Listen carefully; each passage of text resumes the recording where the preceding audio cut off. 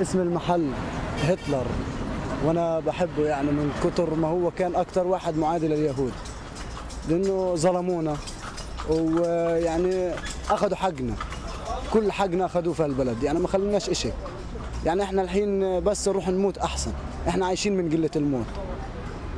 وعجبني كمان يعني اللبس هو أحلى حاجة فيه اللبس والاسم يعني تبعه روعة.